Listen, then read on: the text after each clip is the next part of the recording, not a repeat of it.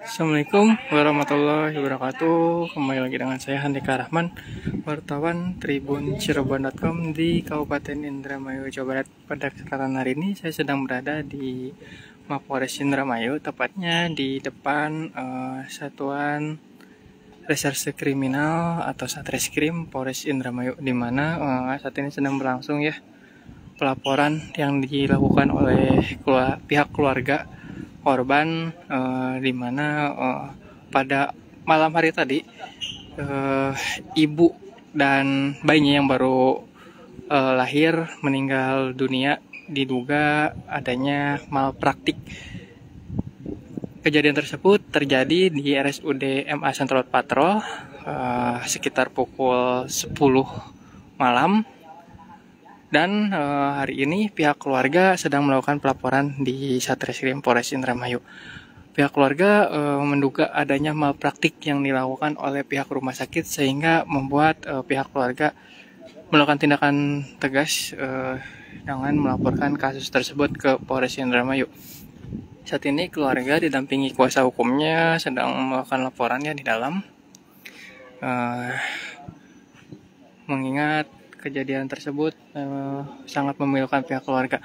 Apalagi uh, sebelum pihak keluarga dalam mendapat pelayanan kesehatan diketahui memang kurang mendapat pelayanan yang baik. Uh, menurut keterangan keluarga atau suami korban bernama Tarsun, uh, ia menceritakan sejak awal datang ke RSUD MA Patrol memang sudah mendapat uh, pelayanan yang kurang baik di mana uh, pasien yang saat itu sudah hampir melahirkan tidak mendapat pelayanan ya atau diabaikan sekitar 2 sampai 3 jam.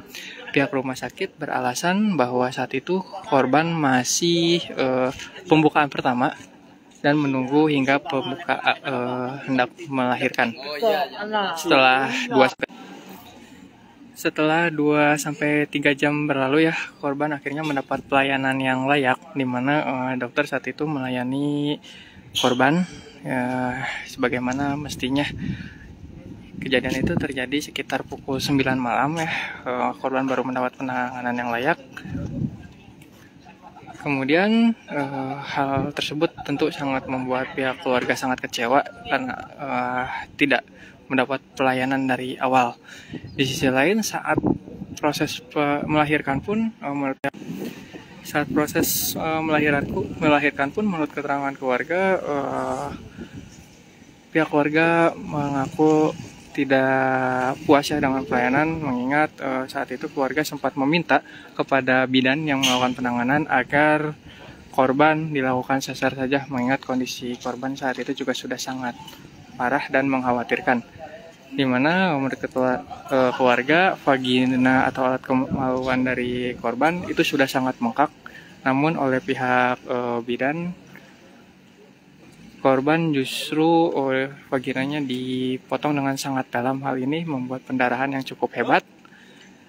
Uh, setelah kejadian itu saat kepala bayi sudah keluar setengahnya pihak bidan diketahui memotong tali pusar bayi hingga membuat uh, bayi tersebut meninggal seketika.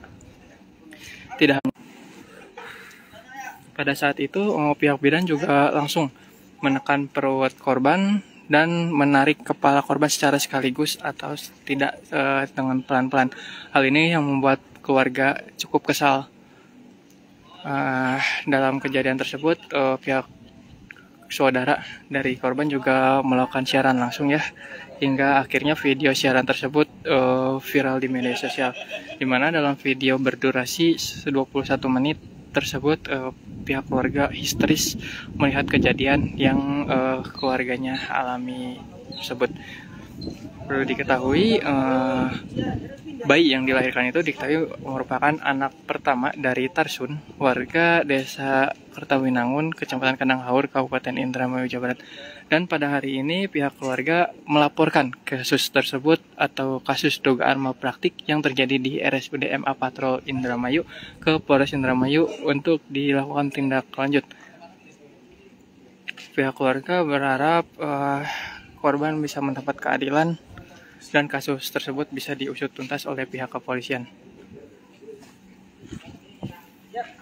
Pihak kepolisian pun mengkonfirmasi uh, dalam hal ini akan menindaklanjuti uh, kasus tersebut dengan melakukan olah TKP uh, akan melakukan pemeriksaannya terhadap saksi-saksi terkait untuk membuktikan apakah adanya praktik uh, adanya dugaan malpraktik yang dilakukan pihak rumah sakit atau tidak.